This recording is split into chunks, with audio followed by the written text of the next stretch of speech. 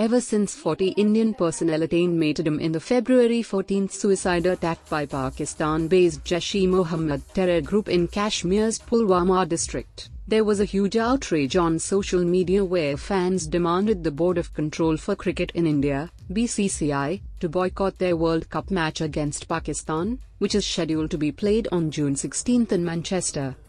While the sports fraternity gave a mixed reaction on the incident, India's World Cup winning captain Kapil Dev has also opined on the matter which remains to be a topic of discussion.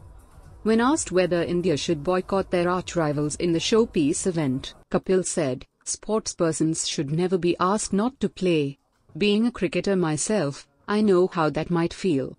Playing sport is the only thing we know and that's what it should be. Earlier, Sachin Tendulkar and Sunil Gavaskar were two other reputed cricketers who wanted men in blue to play against Pakistan in the quadrennial extravaganza.